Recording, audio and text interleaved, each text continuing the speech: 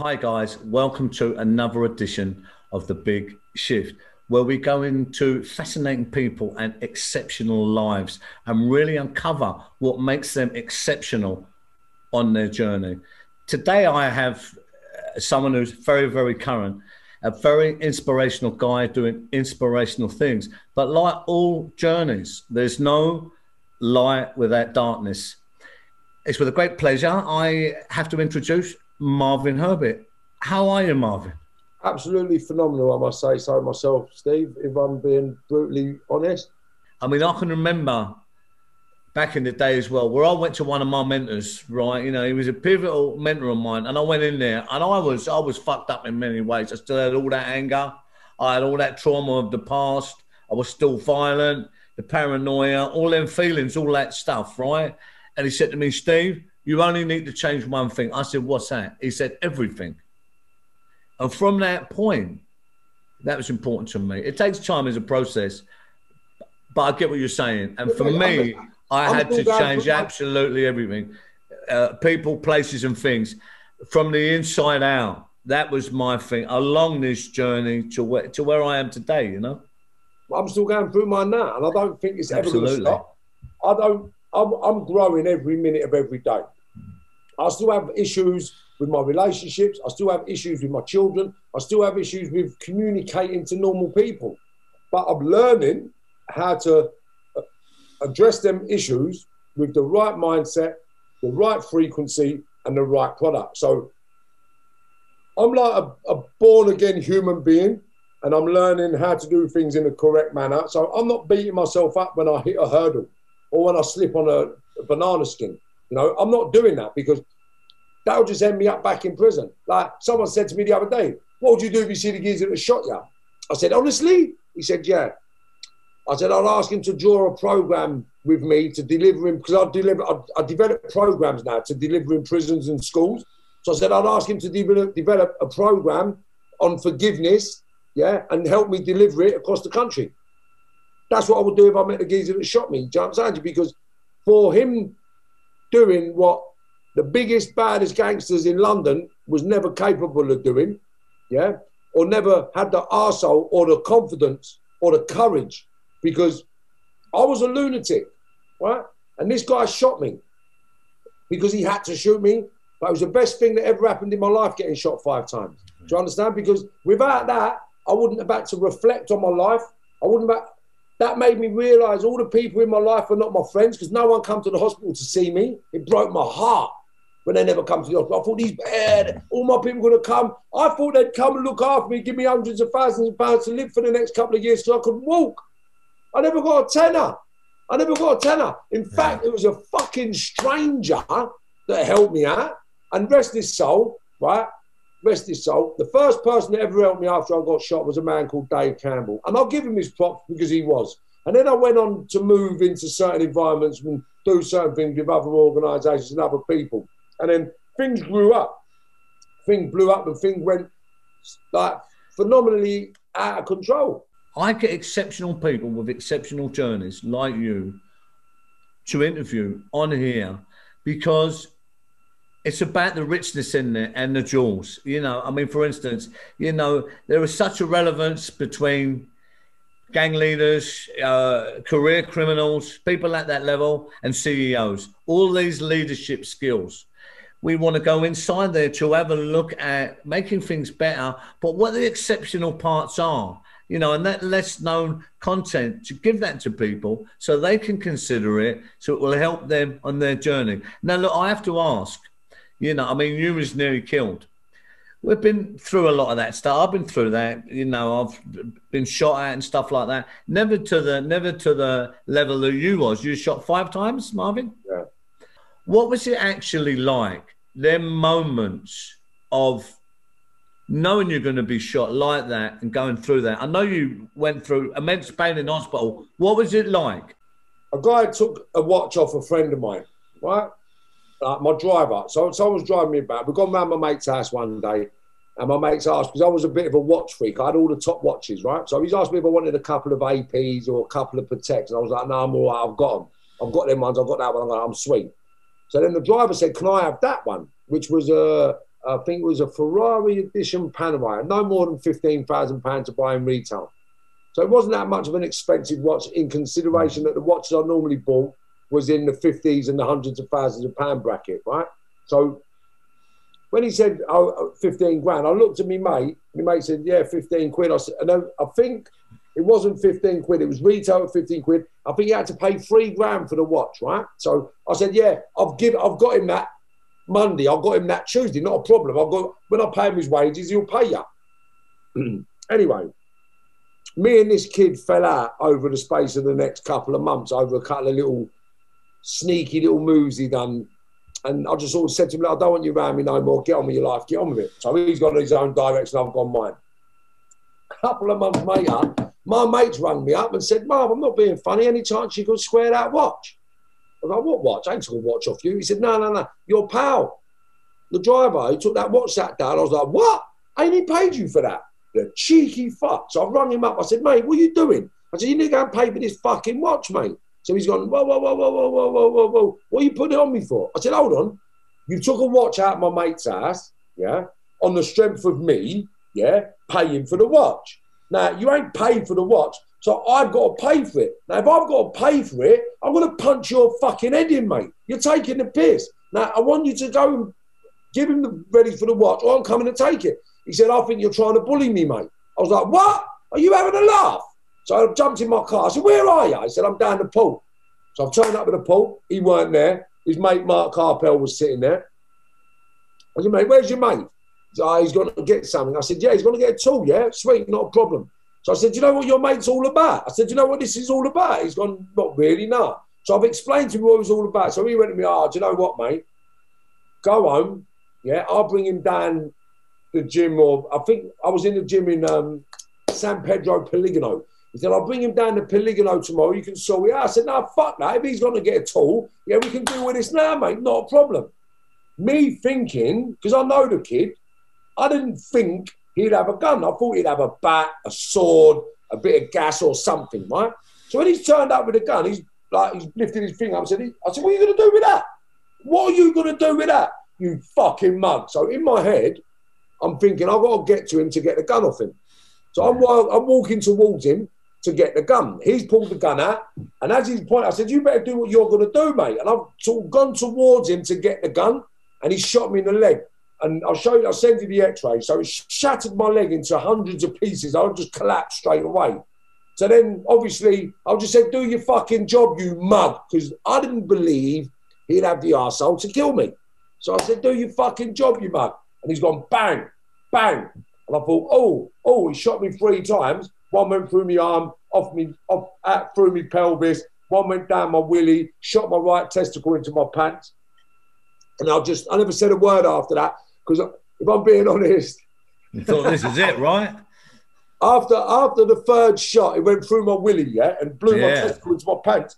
I thought, this cunt's going to kill me. And yeah. he walked towards me, and I thought, ah, oh, we go. And then the instant thought was, my daughter's only two weeks old. Wow. He can't kill me. He can't kill me. And then he's gone, put a gun to my head and he's gone, bang, bang.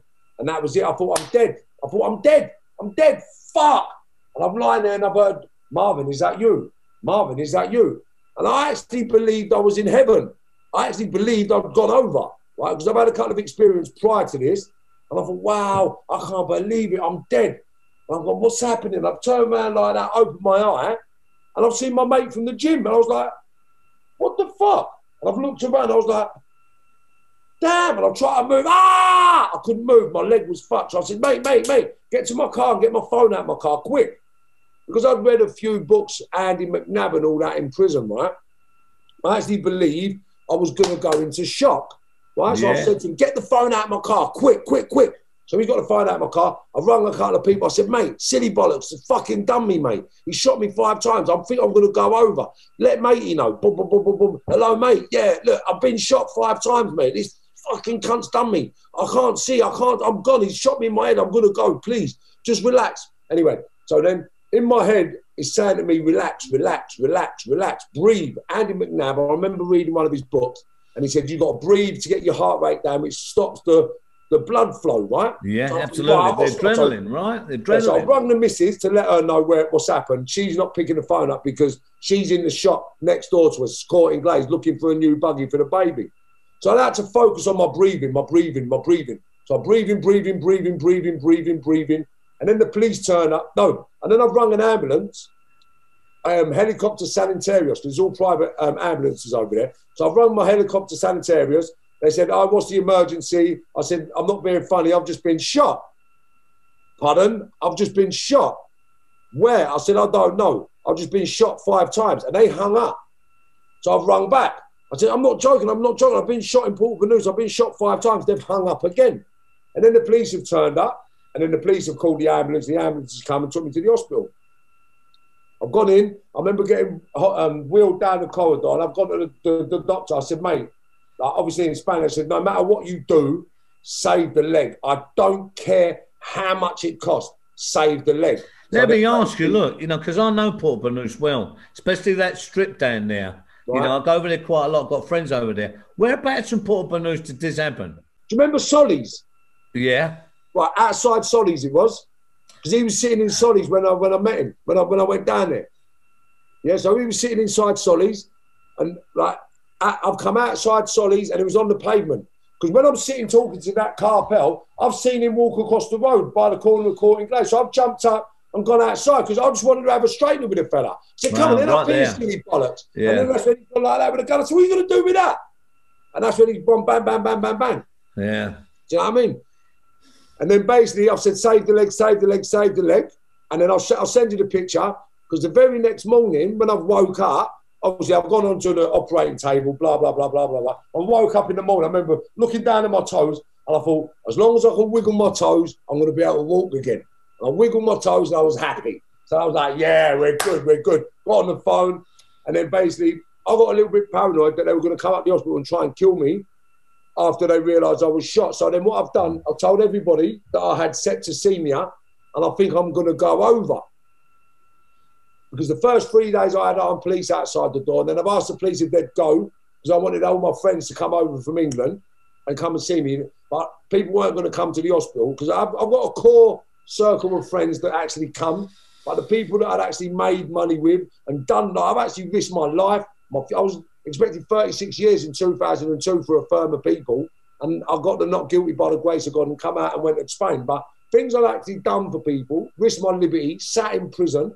I mean, like, I actually thought they'd come and show some sort of solidarity. And it was that that broke my heart and never come. So after the third day, the police have gone. I thought, what happens if these lot come? So I've got a couple of people around me. I had a couple of guns. So I made sure I had a gun in my bed all the time. And then basically, a couple of my mates come over everything was good. And then I put out there for the first two weeks that I had septicemia and I was a good chance I'm going to die. And then when my pals got over and I had the gun in the room, then it was like, right, we're back to normal. I was back on the phone. Yeah, sweet. What's happening? Any of this, any of that? Crash bang wallet, crash bang wallet. And I just started making money again like nothing had happened. You know, and it weren't, like I said, it weren't until 2012 and 2015 I actually decided that crime crime wasn't worth it. Look, thanks for that, Marvin. You know, and I would say certainly. I mean, you know that that's a miracle. You are a miracle. My femoral artery got punctured in three places. Wow. When, when the bone shattered, they, the bones come out of my leg and through the femoral artery, and I never even bled. That is they told against me all I'd medical never ever walk again. understanding, man. They told me I'd never walk again unaided, right?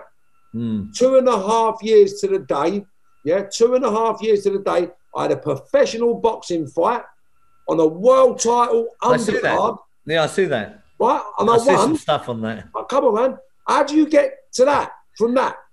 Do you know I mean? A world title undercard. D. Williams from Belfast. D. Williams from Belfast had his world title opportunity, and I was the undercard on the night on a Sergio Martinez production in Spain unbelievable. And I won. And even when you watch the fight, it's on YouTube, Marvin's boxing match. Marvin with an S, Marvin's boxing match on YouTube. It's unbelievable. Yeah, I, uh, you know, I must admit, I had a little look at that because, you know, it's a very, very inspiring story and I get it all the way through. And that is, um, that's a real testament to your spirit certainly, and the human spirit. Now, look, we're gonna we're gonna go into some of the real inspirational things that you've gone on to do. Before we do that, I want you to just, you know, uh, give us a bit of detail because there was another really, really dark period in your life where you was arrested. You know, you know they were saying you was a hitman, uh, an enforcer. You know, you was caught with the list of all these names. A lot of them, you know, had already been assassinated, right, and all this stuff. You was found not guilty of this. What's the real story there, Marvin, with that? What actually happened there with that? You know, you know, the narrow what version. What actually happened? It was a fit up, right? And I know, I know. Listen, listen to me. Everybody says, "Oh, yeah, everything's a fit up," but I'll tell you what happened. Um, do you remember Barry Hibbard and John Toomey got arrested for the Heathrow stuff? I do, yeah. I, I was do. supposed to be arrested for them on that because they had my DNA on the motorbike and down the in the crash helmet, and they actually come and arrested me after for other anyway. So because we were so prolific, right, in drugs, violence, and sort of robberies, right, and we couldn't, they couldn't convict us on lots of things, and we got away with lots of things. Like I'm not trying to glorify that crime lifestyle, but I got away with a hell of a lot of stuff to the point where the police had to do something.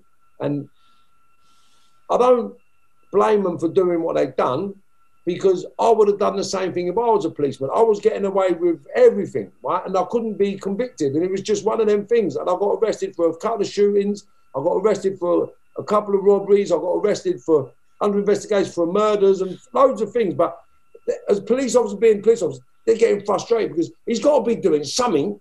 He's got he's with this one, he's with that one, he's with this one, he's, with, he's got to be him, it's got to be him. So what they tried to do is fit me up with Barry and them, like put my DNA on a motorbike. But then prior to that, what happened? We got arrested for a machine gun and a silencer. Um, and basically what they said is we was a Yardie hit team on a mission to kill so many people because we was having a war over territory. So I think two or three people had been killed. Um, five or six people had been shot. Um, there was constant conflict, like tit for tat shootings, like cars got sprayed up, houses got booted off, people got shot, people got kidnapped, people got tortured, you know, and it was just going a bit chaotic. So basically, we got arrested because on the night we used to look after a guy, I can't remember his, his, his whole name, Seamus something. He used to run a pub in Shepherd's Bush. Now, every 31st of July, he used to do the Irish racing over Kempton. So we was his bodyguards because he used to bring the money back to Shepherd's Bush. So we used to go over there firm-handed, wear a vest. I mean, he didn't know we was tooled up, but we'd have a couple of little bits and pieces on us, and we'd go and do what we're doing bring him home, drop him off, and go about our business. So this one night, like we've dropped him off, we've got in the cab. Now I used to live in Barnet, so I've got to go to Kentish Town to get a bit of puff because I used to smoke weed really strong back then. So I'm going to get a bit of weed before I go home. So I'm not armed. I'm not armed. My mates are not armed, right? So we're going to get a bit of puff before we go home. As we've turned up to get a bit of puff, we're walking up a road the roads just come alive with old Dar Bill, right? Now, how I know it was a fit up, we had the regional crime squad, we had soccer, and we had the anti-terrorist group. An inspector from each unit on the spot within three minutes, Stephen. Right? Doesn't happen. Does it? it doesn't like happen, that. mate. Right? And there was uh, maybe 55 police officers within three minutes. And I'm like, what the fuck? Anyway, cut a long story short, one of the police officers has gone to his community support officer. Listen, there's a gun around here somewhere. We got to look for it. How could you assume there's a gun on a street when you just stopped three people? So they've stopped us. They're searching for this gun for ages. Can't find it. Can't find it. Can't find it. And all of a sudden, we get put in the cars, go get taken down to the police station, and then hold up, they find a machine gun, a Mac 10 silencer, armor piercing bullets, subsonic bullets, so you don't hear no supersonic boom. The silencer muffles the sound of the gun crack, and we're a hit team. So then we get arrested, we go away. While we're away, and they start saying that we're responsible for 87% of the gun crime in London. These guns are responsible for X, Y, Z, X, Y, Z, X, Y, Z. Right? So then we go to trial. We go to trial. And they said that the difference between this organisation and every other organisation, we're professionals. We are so forensically aware that they won't find anything on us. And our guns was in pristine condition. One of the, the gun that they found hadn't even been fired, right? But then when they've come to trial, they brought a gun in as exhibit, which was about 50 years old. So we're like, hold on, hold on, hold on. That ain't brand new. So I said to the defence, I said, hold on a minute. Have a look at the, um, the forensic report to the firearms. You say on page whatever that the firearm is immaculate and it hadn't even been fired. Now, I am no gun expert, but if you look at that gun, it looks about 50 years old. You can see where it's been cocked about thousands of times. I said, it doesn't look brand new. So the judges said, let's have a look. The judges had a look and he said, the jury need to see this. So he's giving it to the jury. Right, on that basis, we got the not guilty because you could see that it was a fitter. The match, yeah. I mean, yeah. look, look, I, I hear that. All I can say is personal experience. When I went to the Bailey, we screened fit up they definitely moved items around and all that. And look, as you say, you know, in that live, you know, Marvin, so you're getting away with a lot of stuff. They concoct stuff and they say, look, you know, he's a target criminal, career criminal. We'll you take him off the street anyway. Right? I mean, that's how it works, yeah? Me personally, when they when we got Nick, I was getting 36 years recommended. That was it. So they've come in and said, right, Herbert, we'll give you a deal. I said, what deal? They said, we'll give one of your co-defendants no more than five years. I said, go fuck yourself. I said, for what? I know you're fitting me up, you know, good cunt. There's no way I'm pleading guilty to that. And then obviously my co-defendant took a deal, yeah? And then we got found guilty by association and got five and a half years. And that's why I went to prison on my last sentence. Marvin, I see it. I really do. Now, look, I always say as well, right, that you can't know true light without knowing true true darkness. Or you can't know, you know, true darkness without having experienced light. So, you know, thank you for the stuff you've told us there about some of the real dark moments in your history. But when you've gone on, let's talk about what you've gone on to be and where you are now. What was the first moment or the first experience time with a person or project or whatever where you knew in your heart and soul, your psyche, every fiber of your being, you know what? I've got it now. This is me now. No matter what happened, there is no way I would go back what? to that life. What was that? What was that time? Young Gotten. It's a young young African kid called Gotten, which is a friend of my son's. And basically, I just said to him, look, Something's made me come off the road. Something's put me in this position. I said, now come to the gym every day with me, and I can guarantee you, because I used to know what I was going to get away with, and I used to know what I'm going to get called and I used to know how long I'm going to get in sentence, but I accepted it all because of an occupational hazard. So what I've said to him after that transition with the, the penny dropping moment, I just said to him, look, we need to work. And no matter what we do, we're going to be successful because we're them types of people. I said, so come to the gym with me. And then this kid, he's come back to me and said, oh, I don't want to do this. I don't want to do that. I said, no, no, no, no. Listen, stay in the gym. Stay in the gym. So the next thing he, he became, he got a job. And then he got a little bit deflated. I said, stick at it. Come to the gym. Come back to the gym. Come back to the gym. And then he started growing a little bit more, got a bit better, got a bit better, got a bit better. Then he got into the music world. And then I plugged him into the music world. And then I plugged him into a couple of links. And then he's just gone. So what I've realized at that specific moment of my life is that I'm a facilitator. I was a facilitator in my past life, and I'm a facilitator in this life. So I used to get the job done for people. So if you had a problem, you could ring Marv. Marv would sort the problem out. Now, if it was stabbing, shootings, or whatever, I'd get involved if there was money involved, right? Anything to do with murder, I shied away from because I got told by a spirit, uh, um, a spiritualist, that you can't kill people for money and expect to grow prosperity. Uh, what's it? On? Prosperity. Uh, yeah, you can't have prosperity if you take life for money. If someone tries to kill you and you defend yourself and they die, that's a different scenario. But if you take money and you try to kill people, then that's you're finished. Your soul's burned and you will never grow. Once you took that soul, you'll never grow. So anything but murder, I got involved with to the hill, right? And I was in it. I was doing it. I was being it. I was everything to do with it. So that energy that I had in that last world, in this new world, I thought, Joe, what?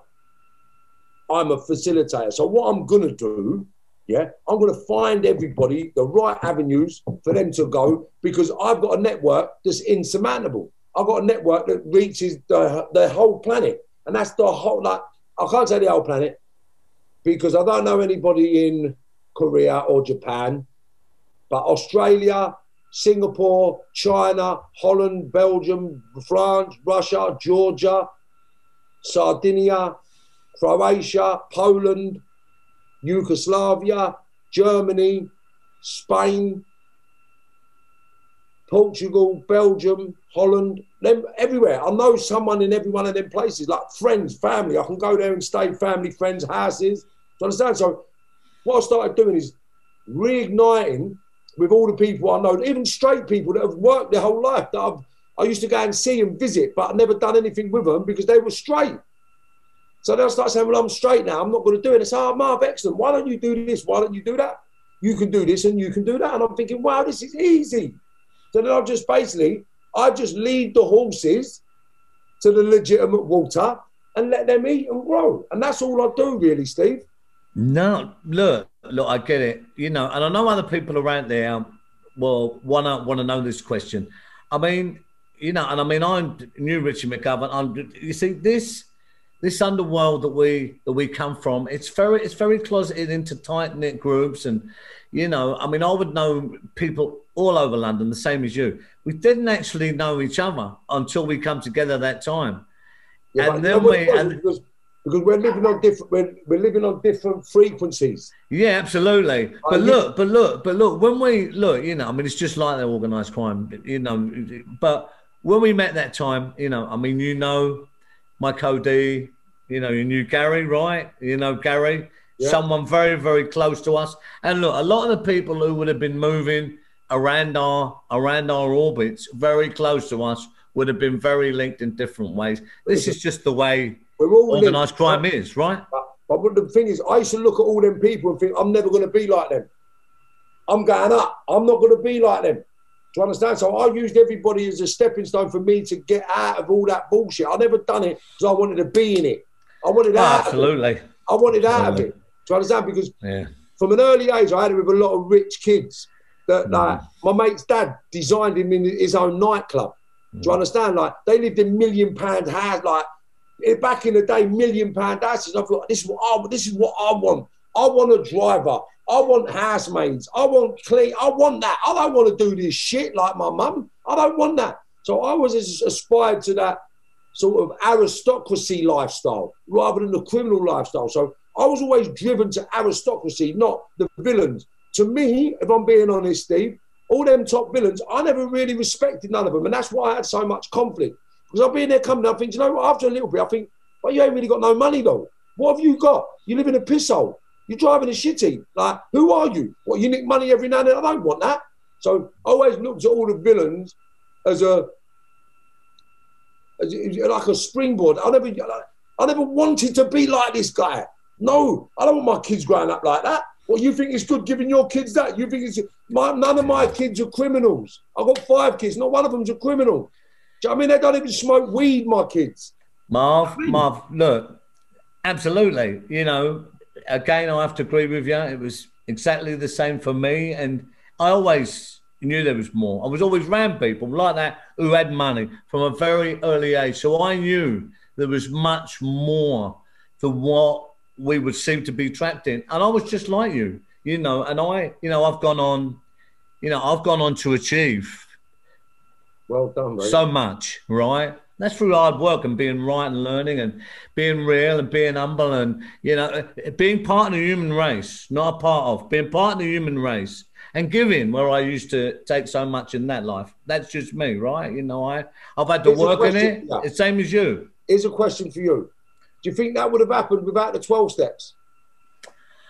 Um, it's hard to say, but the 12 steps for me was fundamental in my journey. So it was, uh, you know, one of my things was I had criminality, I had serious trauma, I had real antisocial issues, anti-authority issues, very violent, uh, you know, addiction issues. You know, I went on to have mental mental health issues. I mean, the whole nine yards. So I really had to um, circumvent all of that. You know, I had to come back from what even one of them many people don't come back from. Marv you know that. But you're a miracle. I mean you are. It's very fair to say the same as me just for the adversity that we've overcome because people don't come back from that right? And then the extra bit which is what i this show's all about and why it's fascinating these journeys no matter what side people may think that we are or what industry we're in is what we go on to do what are the lessons? The exceptional bit where we go on to create. This is where there is unbelievable value, you know right? my biggest, my biggest, my the biggest sort of achievement ever, right, was getting personally invited to Downing Street. I see that. Well Mate, done. That's quite a I thing, right? I couldn't. I thought it was a wide up. I thought it was a wind up. I'm telling you, I thought it was a wind up. But then they said to me, oh, we want you to come to the House of Lords to do this, this, and that. I was like, are you winding me up? I was like, no, Marv, listen, listen, listen. I was like, oh, fuck off, dickhead. They're not going to have me in Downing Street. They said, no, you've got the clearance already. And I went down there. I'm standing in the queue behind all the celebrities and all the people that are going to get saying, saying they're getting given off the, um, the Prime Minister. I'm standing in the queue behind one of the young artists that we know, growing up, Big Narstie, who's got his own TV show now. So I'm standing with him having a laugh and a giggle. And then the majors come out and said, What are you doing queuing up? I said, I'm just queuing. They said, No, no, no, no. You're different. You come straight round. And then just fast tracked me round and walked straight in. Just walked straight into Downing Street. And then I walked up to Theresa May. Theresa May was from like not even 12 foot away, six, eight foot away, right there. And then I had the, the, the, the MOD, like the, the, the, the head of the so all these charities, like these big people in front of me said, Oh, your story's amazing. You're an amazing guy. Like, I've heard so much. And I was like, Wow, wow. Do you know what I mean? It was like, bam. You know, like, and it's just from that point, yeah, I knew that I'm on this planet and everything I've been through in my whole entire life was to actually do what I'm doing. And when I've said to the major, I said to him, Oh, thanks for the invite. He said, I never invited you. Number 10 invited you. So afterwards, I said to him, I ain't being funny. Why did they invite me down here? And he said, Well, basically, what it was, he'd done a course, he'd been doing some bits and pieces with Dr. Mark Prince, right? Because this is how it happened. Dr. Mark Prince has said to me, rang me up one day, because he's a good friend of mine. He's rung me up one day and said, oh, Mark, I've got a couple of kids in Tottenham I'm doing a, um, a workshop with. Would you mind coming down and having a talk with them? So I said, yeah, not a problem, Mark. Not a problem. Anything for you, mate, because obviously his son got killed and murdered. Yeah, and he's gone on to do exceptional, amazing things, right? So anything I could do to help him, I'd do. Because prior to my meeting with him, I was very skeptical to reach out to him because of his son got murdered, and I was always associated with murders and killings and stabbings and beatings. So I just thought I wouldn't have it with someone like that if they killed my son. Do you know I mean? I wouldn't. Well, I don't even know how I'd even behave. So I'd never reached out to him, and then he reached out to me when we done um, we done a, a program, a workshop at the, the Central Criminal Court. Someone asked me to go over, and while I'm in there, Mark's come up and started speaking to me. I said, "I'm so glad you spoke to me because I was too scared to speak to you." Anyway, so I've got up to uh, to his workshop in Tottenham, and I've walked in, and I've gone, "Boom, right, youngsters, come here, come here," and they've all come over. I said, "Right." Brrr, an hour and 20 minutes, right? Now they're all sitting there talking, just not even talking, just listening. And they said, right, this is what I want to do. Crash, bang, wallop. They've all hop, skip, and jump. I said, right, come here. Another half an hour conversation. Right, scratch, wing, wallop, crash, bang, wallop. And they've all done it. So the person from Downing Street that was there with Mark, what he said like, was that he's been working with these kids for a certain amount of time. And he said, what I see you do was amazing. Like these kids, I've seen them work and do this. and they've never sat still for longer than 10 minutes. And Mark finds it challenging with them, right? And I'm telling you, it was just, that was a penny dropping moment. So then I went from there to um, Art and Danes, which is a school over West London. And I had the hardest to reach kids from there. I went in there, and then I've done a knife campaign in Liverpool, in Iton, with 25 of the worst kids from the PRU, like the people referral units. And I had 25 kids, all from warring postcodes in Iton, sitting down, yeah, for six weeks without one fight, yeah. And by the end of the course, every one of the kids had basically turned their mindsets in the opposite direction, you know. So I realised I had a gift because I'm not talking shit to these kids. I'm telling them, listen, don't think you're not getting used. Don't think you're not being abused. Right. Why, why, if you love someone, are you going to give them a product, right, that's going to get them killed? Why are you going to give them a product that can get them put in prison for five years, 10 years, 25 years? Why are you going to do that if you love them? They're grooming you so they don't have to go to prison. Don't be groomed. Don't be groomed. And that was my purpose for my journey to let all these kids know that they're groomers. I used to be a groomer. My own cousin, I groomed my cousins to sell food for me. Do you understand? And they used to not, serve him up, but give him a couple of slaps. Where's my money, you little prick? Slap him up. But come on, that's all it is. It's just grooming. So I've gone round to England, letting them know that don't be groomed by people like me because they don't love you. And if they love you, this is the question you ask them. Here's your product, son. I love you. Da, da, da, if I get stopped by the police, can I tell them you give it to me? That's how you find out if they love you, son. And you'll see the difference. And they'll tell you, keep your fucking mouth shut because snitches get stitches. How can you say that to someone you love? Now, I've got a recording studio. So I've said to the kids one day, right, here's some equipment, right? It's worth £250,000, right? If you get stopped by the police, Tell them to ring me because I've give it to you. What? Simple. I've said to another kid, here's my car. Take my car. But in the boot, there's £30,000 worth of CDs. If the police stop you, let them know that I'll give you the car and give them my number. Right? If you've got to go to prison or your life's in danger for a product that one of your elders is giving you, then you're being groomed. End of. So that's the message I'm putting out there, Stephen Gillen, and that's what look, I'm so hell bent on doing. Look, look, that's spot on, and that's great. You know, thank you for that. And look, you know, I'm going to come in because my my experience as well. I'm going to name someone else. You know, and you know him. He's a, a very good friend of mine. I grew up with him, Jack Ramadan. Now, Jack is very similar to the work that you've done. He's done unbelievable work in, in East London. You know, he had a boxing gym. You know, he was doing the music thing there.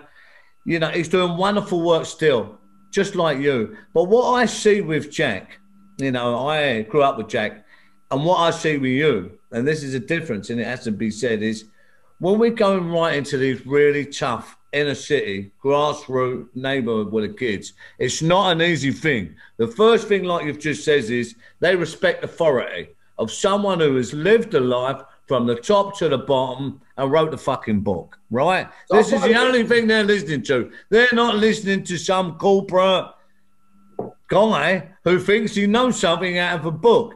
Yeah. And you know what? It's a tough thing.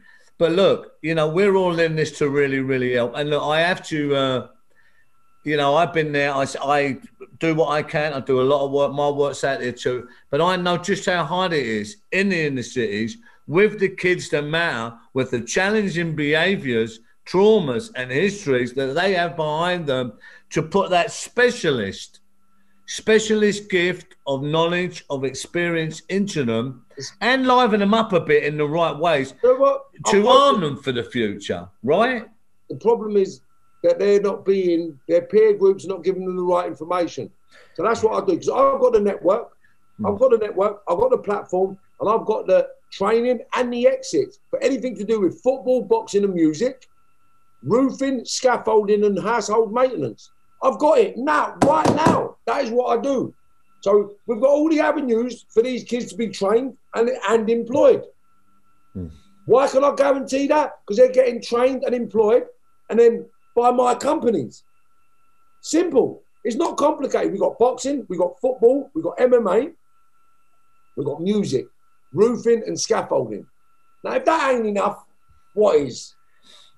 You know, so it's about the people that are going to speak to these kids and the opportunity. You can't just go and speak to these kids and expect them to change. So I mean, like, I get kids in the gym, I'll get them training, I'll get them eating, but I'll reward them. So I've had eight kids from West London. So I said, right, who's your favourite boxer?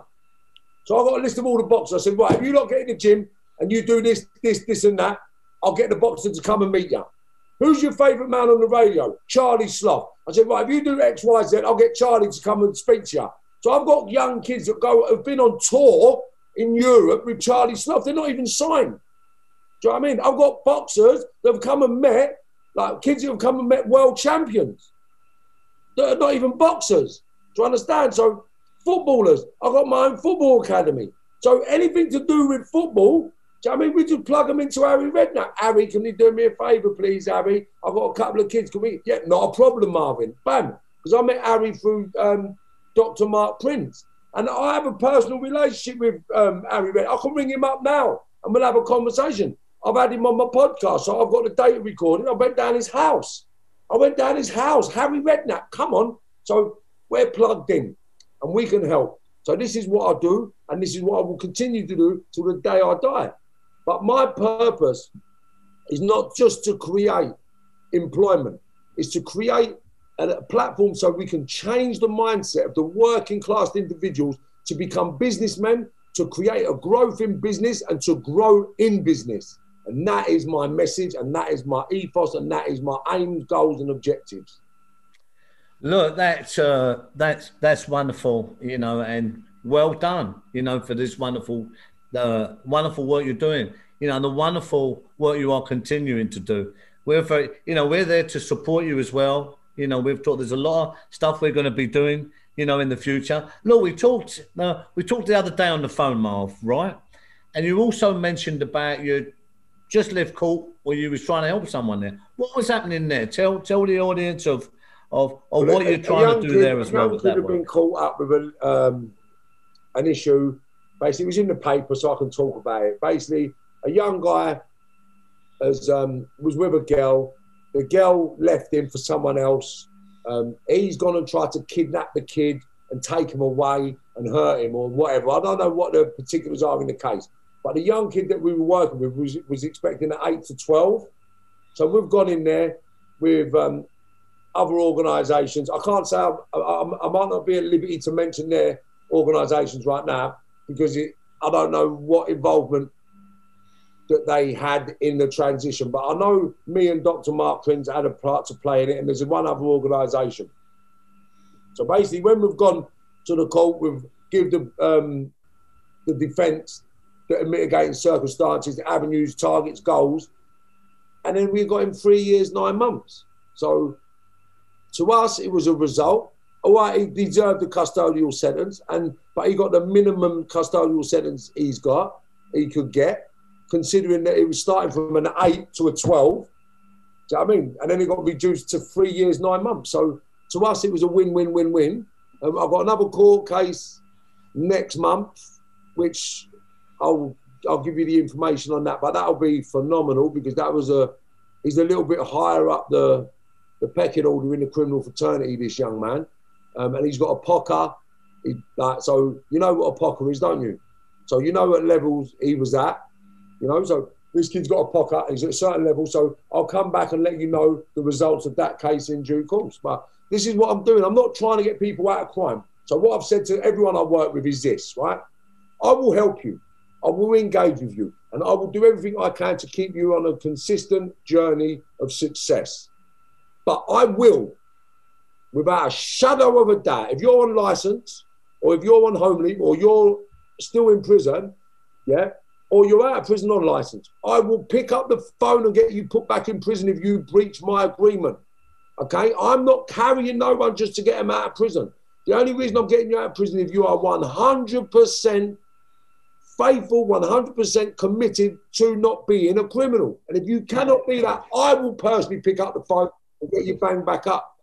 Look, you know, for people out there, our journeys, like a mirror, me being you, you being me, you know, to make it really simple, you're a bit of 10 down the street, you know, you're changing lives now. You're doing a lot of, you know, a lot of real inspirational stuff that's making a difference. I mean, look, you know, I'll just say it because it's relevant just to show people out there. A lot of my work's out there. But even this morning, you know, even this morning, I was on a talking politics show on Sky to over a billion people worldwide, even more than that. That's the seventh of the world.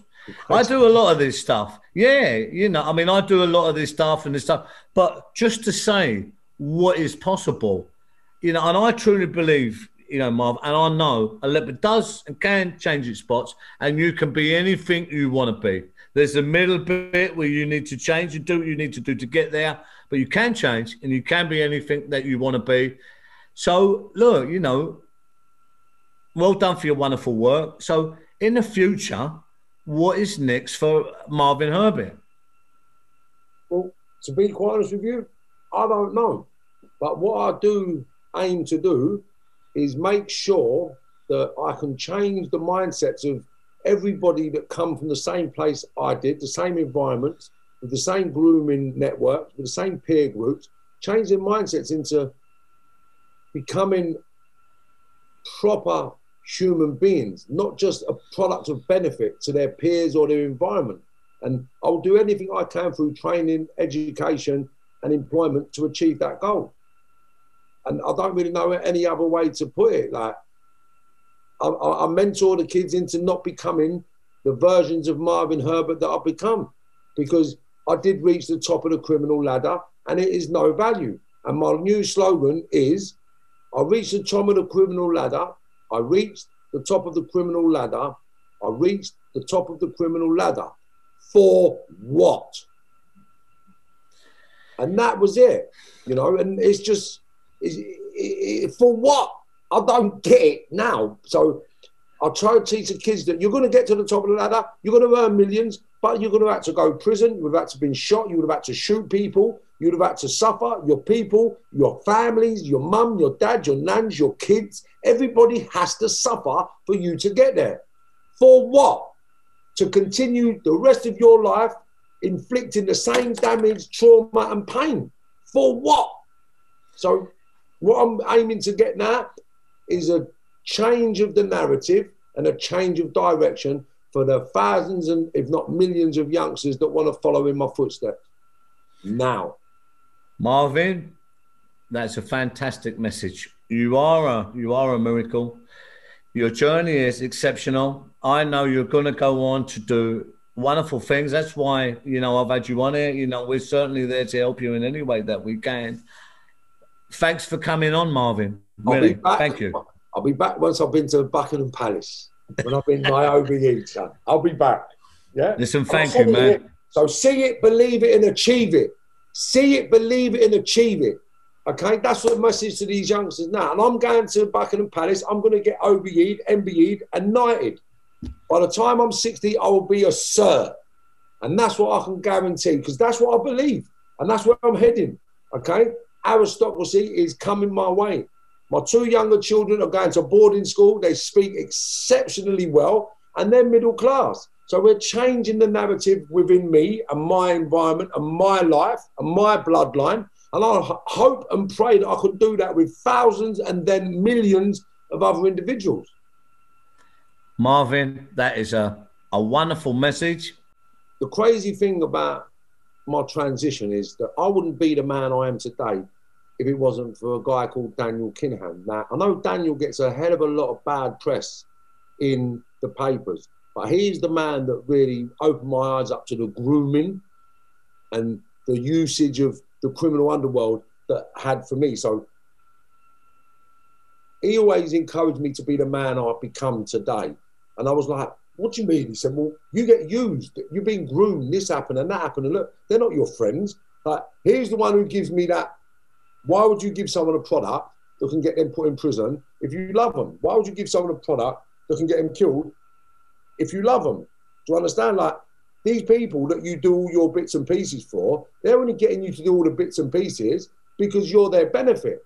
And it was that that made the penny drop for me. And it's ironic that he gets so much bad press when everybody that I know that's been in contact with this man has gone on to achieve great things in the legitimate world. Like, and he never, ever, in the, I'd say, 15 years I've known him, has ever done anything to encourage me to commit crime, you know? And the fact that he gets so much bad press is really sort of fascinating to me, considering he's never been convicted. I mean? And he's been to prison on remand and stuff, but he's never been convicted. And and Nicola Tallant, the news reporter, crime news reporter for Ireland, done a centre spread. She said that um, I couldn't be, I wouldn't have ever been straight if it wasn't for Daniel Kinahan. And she put in a paper that gangster turns advocate. Do you understand? So everyone's recognising that I've turned my life around, but you've got to look at the influences that made me do that. Like, like I said to you earlier, I wouldn't have listened to anyone that wasn't me growing up because I thought everyone was an idiot. And Daniel has really pushed me to become the man I am today. So I actually owe a lot of my transitional success down to listening to the advice and information and guidance that I got from Daniel, you know. And it's quite surprising that he gets so much bad press still, considering he's never had a conviction. And it's Look, look, that's wonderful. I look, you know, I mean, I've been in that paper as well on a double thing, and you know, that paper there, they, they're very, they don't print stuff like that unless they're really sure about the content of the story. I yeah. know that, you know, because I've been in that paper. So, with that kind of spin on a crime story and stuff, I know that they really look into it and it, they they ascertain all the facts of the people that they write these two page spreads about. That's certainly my experience.